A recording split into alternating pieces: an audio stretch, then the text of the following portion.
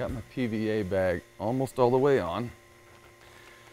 And same old deal, you want to get your bag on there as far as you can so it's nice and snug at the top as much as you can. And not all legs match up great with all locks. Sometimes you get a lot of puckering and bagging up here. If that's the case, just keep a little more tension when you go to introduce your resin and get things strung out really nice. And then when you're done, get that tension back on there and possibly tape off that top area, get all those extra bagginess out of it. And I'm gonna go ahead and powder my bag down, get rid of that moisture and toughen it up a little.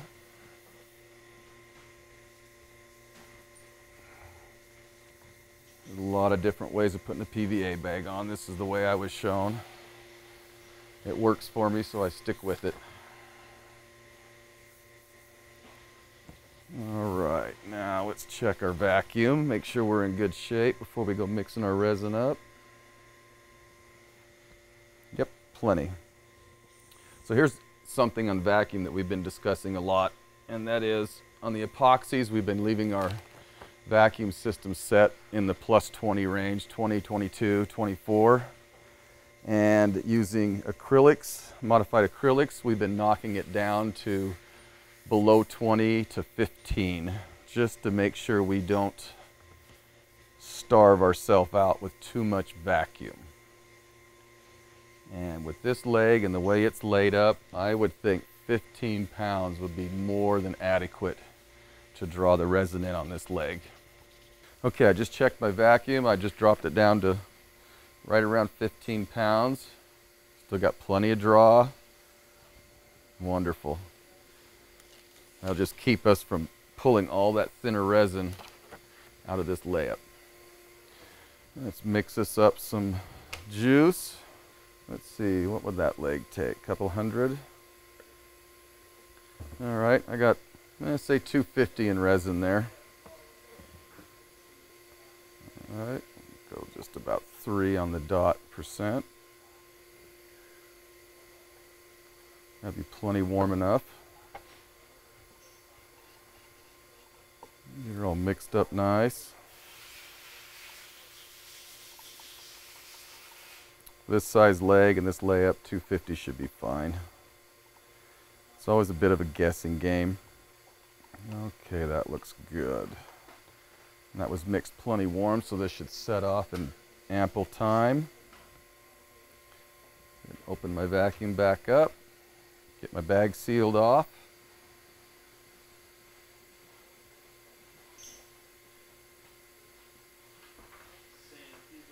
Okay, with the thinner resins, you can start introducing your resin much faster. When you start messing around with your epoxies, you want to do exactly what they tell you in the directions and you take your time on this top end of your socket. It's where you have the largest amount of braid and everything is thicker. You're going to have more undercuts.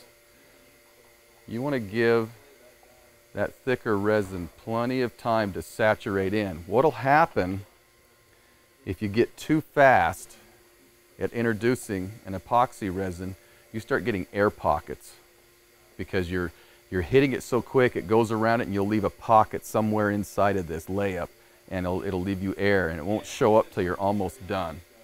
With the, with the modified acrylics, you pretty much get right after it. It's still a good rule of thumb though, to not get real carried away your beginning stage of your layup. Let that get good and saturated. And once you feel comfortable that all your layers are soaked down good, then you take off and run the race down the whole side. Yeah, it feels really good up around there. And the bag's drawing it in really nice. It's a nice shaped limb for this lock. Matches up really well. This is where that tying it off around the base of that lock comes in and get rid of a lot of that bridging and heavy weight right there. It's not something that has to be done, but on your finished product, it can make it look a lot nicer. Now this is also another place where the vacuum can become kind of critical. You don't want a huge draw of vacuum. If I was doing someone larger, a big AK or something more complicated, a KFO, I'd probably keep my vacuum pressure up till I was just about done, and then I'd back it off a little. As you can see the difference when it's getting introduced. Down in here you have the real heavy check pattern. As you come up into the thicker part of the resin, it's much smoother, smoother and fully saturated. That's telling me I need to keep introducing down here. This is definitely starved out. Right through here, a little bit. Right through there is still doable. And in from here up, 100% good coverage. A lot of it's just, just by look and feel.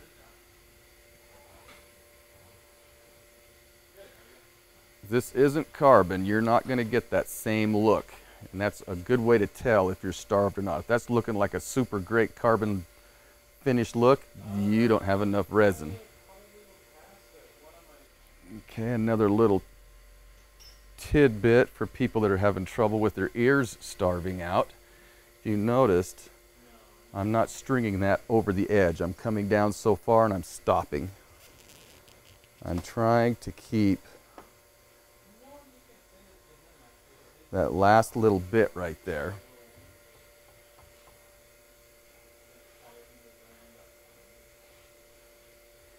We got lots of time to get rid of this, that heavy edge.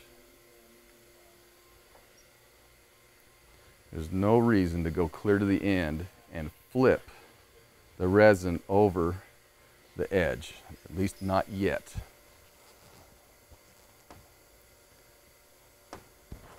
This also depends on how hot you've mixed your resin. Yeah, that feels nice. Let's go ahead and tie the top off. And then let's take our tape tape off our lock and get rid of any excess resin we have. And then we'll string it down to the bottom.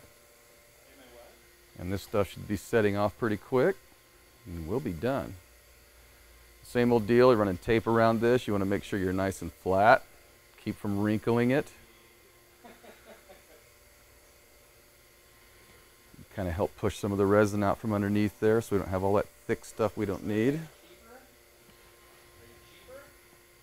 We're not going to get a whole lot out of this. There's our undercut right there. I'm going to go one more time underneath of that. There's that undercut we were trying to Make sure we don't have air in or extra resin buildup. Now that little step right there can find you another 20 grams of resin without any trouble at all. Now we'll run this thing down closer to the end. And I'm pushing pretty good using a parachute cord to string with.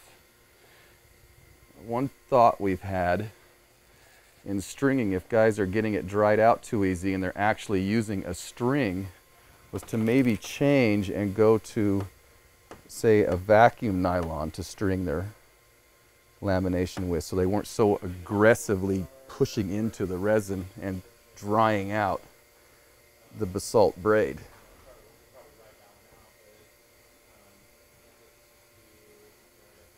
Now you can see that pattern we were talking about right through here, much less aggressive looking.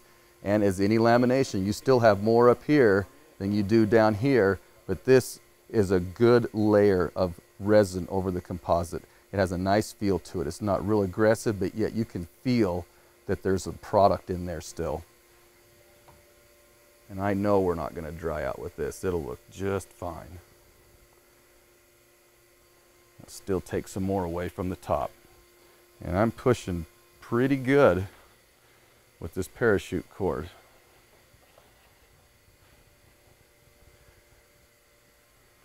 I want to get this dude down there to where he has just what he needs. I don't want a bunch of extra bulk resin that we don't need.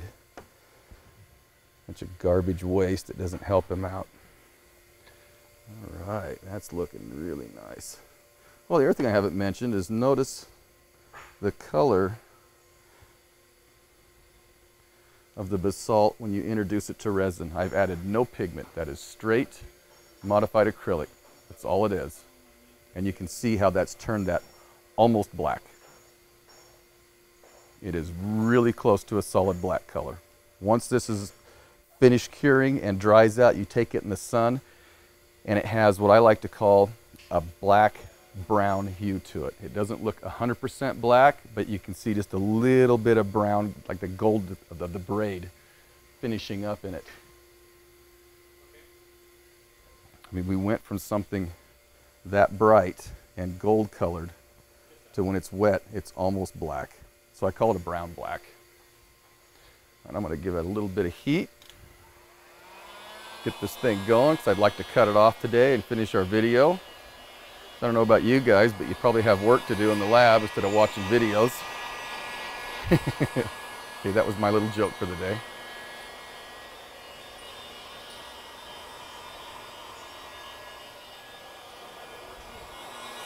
Let's stay up here on the top area where it's the thickest.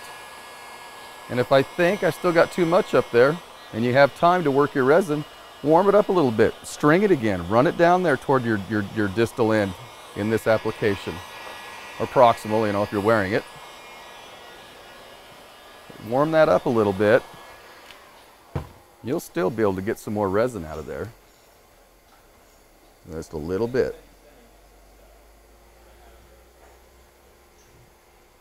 I give it one last little go by because it feels really good. It hasn't quite started flashing off. I didn't mix it that hot. I certainly could have, or we'd be done by now. Yeah, that's feeling nice. Little wrinkle. That feels real nice right there. It's got a nice appearance to it. You can string this out to where you just see that pattern, but if you're seeing it real aggressive, then you are absolutely thin. That's just the nature of the beast. The composite, the Coyote composite takes on the resin. It is part of it. It is, it is saturated with it. It's not a carbon where the resin just suspends around it. This actually does this. That's why your braiding isn't aggressive looking like a carbon. It's doing that and it's just all coming together. It's saturating the fibers so it flattens the fibers out and doesn't make them look like individual strands. I guess it'd be a little better way of explaining it. The more that cures and cooks in, the more of the pattern is starting to show up throughout the whole leg.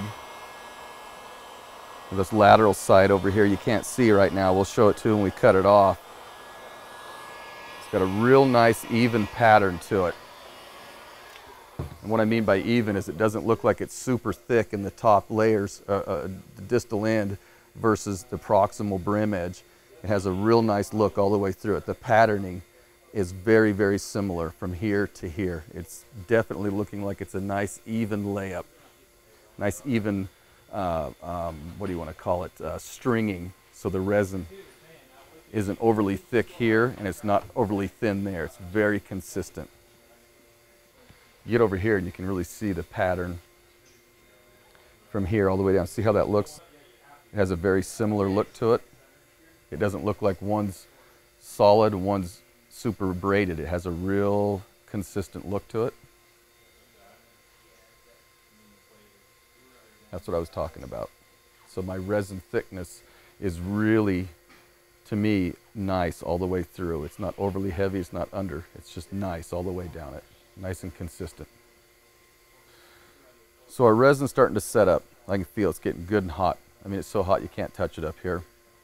I know some guys have a real problem with this taping off around a lock because they don't want their bag to wrinkle. To me, if, if it is so small, say with the, the, the small airlock it is so small it's hard to do this application, but you just have to bring your bag up and try to get that tension out. And if you have to, hold the bag and move it. But if you lay your tape on and you pay attention to what you're doing, you can get a real nice taping on this without showing tape lines in it and wrinkling of the bag. Another thing I've done, if, I'm, if I think I'm going to get tape lines in this, if I'm worried about the lines of any tape showing up, when this thing is getting hot and it's setting up that this tape at this temperature and it's hard to where you, still touch it with your fingernail, but it's, it's hard at setting, go through here and just carefully take this off right now before it's 100% cooked. This thing is nice and warm. I want to get rid of just that. And I'm going to leave that very last piece. Now, when this is all done, it's not going to pull away from it because it's set up enough, but yet it's not so hot that it's cooking those lines where I taped around it in a circle into my finish. So when we're done, we pull the bag off, we'll take a look at this and see if we see tape lines around the top of this, or the distal of this lock. And I almost guarantee you, you won't even be able to tell that I've taped it. But you will be able to tell that this is drawn in as tight as I can get it and got all that excess resin out of this lock area.